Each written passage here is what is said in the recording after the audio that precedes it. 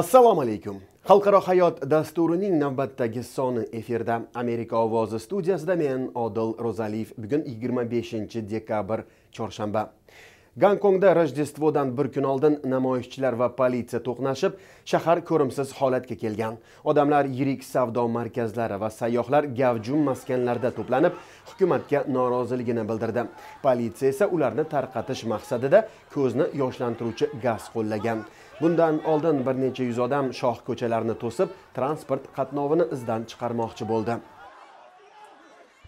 咁我觉得应该好多香港人都 o'tgan yili rojdestvo boshqacha ancha bayramona o'tgan edi biroq bu yilgisi kurash davriga to'g'ri keldi nafaqat rojdestvo balki yangi yilda undan keyingi bayramlarda ham shunday bo'ladi toki hukumat talablarimizni inobatga olmaguncha deydi namoyishchilardan biri gonkong metrosi yo'lovchilar xavfsizligini o'ylab namoyishchilar to'plangan ikki joy yonidagi stansiyalarni yopib qo'ydi gonkongda yetti oy oldin boshlangan chiqishlar hanuz davom etmoqda.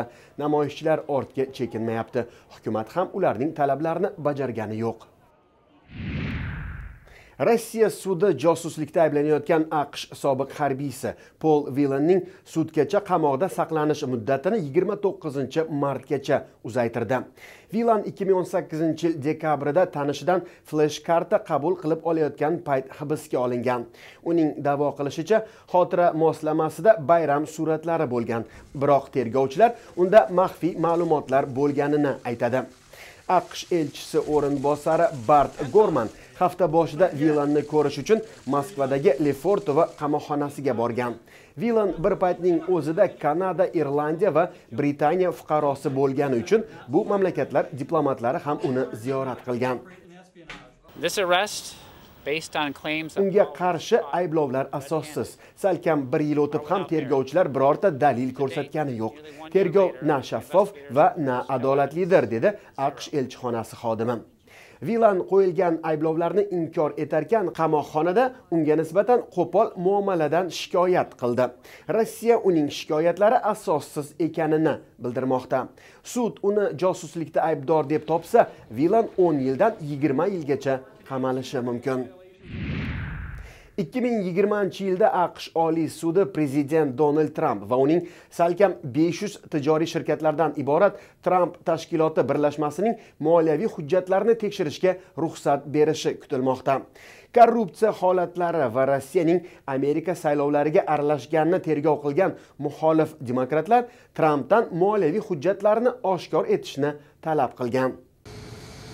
Joriy yil davomida demokrat qonunchilar va nyu york prokurorlari sudlar orqali trampning moliyaviy hisobotlarini qo'lga kiritishga urindi.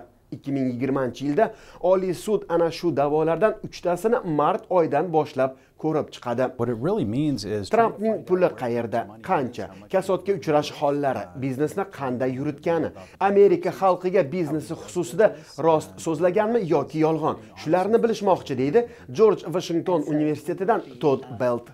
Demokratlar tramp xorijliklar bilan ish qilishda manfaatlar to'qnashuviga qo'l urganini soliq to'lashda aldaganini 2017 yilda qabul qilingan soliq kodeksidan foyda ko'rganini aniqlash uchun uning soliq deklaratsiyalarini ham anchadan beri talab qilib keladi. Sudga yo'llangan da'volarda trampning poytaxt vashingtondagi mehmonxonasi poraxo'rlikka qarshi qonunni buzgani aytiladi. Saudi Arabia holding a, a, a saudiya arabistoni xalqaro tramp otelida katta tadbir uyushtirgan va prezident buni bilgan. Bu esa konstitutsiya mualliflari xavotiriga sabab bo'lgan masalaga taqaladi. Ya'ni xorijiy hukumatlar prezidentga ana shunday hadyalar qilib uning moyilligini qozonmoqchimi deya so'raydi jamoat fuqarosi tashkilotidan robert vaysman tramp prezidentlikka saylanganidan keyin o'z shirkatlarini sotishdan bosh tortdi. Shu kungacha amalini shaxsiy manfaatlar uchun ishga solganini inkor etib keladi va o'ziga tegishli imoratlardan siyosiy maqsadlarda foydalanishda davom etmoqda. 2019 yil 3 choragida Tramp egalik qilayotgan binolarda o'tkazilgan siyosiy tadbirlarda Trampning 2020 yilgi saylov kampaniyasi va Respublikachilar Milliy qo'mitasi uchun 125 million dollar yig'ildi. Ko'p joylarda otellarim bor. Ular zo'r bo'lgani uchun ham odamlar ulardan foydalanadi, deydi Tramp.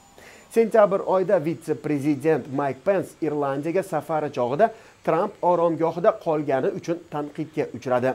Tramp kelasi yili bo'ladigan katta yettilik sammitini mayamidagi oromgohida o'tkazmoqchi bo'lgan biroq muxolif qonunchilar bosimi sabab rejadan voz kechishga majbur bo'ldi. Yaqinda tramp tashkiloti ma'naviy xavotirlar yuzasidan vashingtondagi tramp oteli ijara huquqini sotmoqchi ekanini bildirdi. Mehmonxona federal hukumatga qarashli binoda joylashgan bo'lib tramp tashkiloti uni 60 yilga ijaraga olgan va ijara huquqini sotish orqali 500 million dollardan ko'p pul ishlamoqchi. Oq uy va binoni boshqarayotgan umumiy xizmatlar boshqarmasi bir tizim bo'laklari bo'lgani uchun bu ish xususiy manfaatlarga xizmat qilishi mumkin degan xavotirlar mavjud deydi brennan markazidan rudi mehrbaniy noyabr oyida tramp jamg'armasining saylov kampaniyasi uchun to'plagan pulini o'zlashtirgani haqidagi da'voni hal qilish uchun 2 million dollar to'lashga majbur bo'ldi siz xalqaro hayot dasturini tomosha qildingiz. Vashingtondan men odil ro'zaliyev. Xayr salomat bo'ling.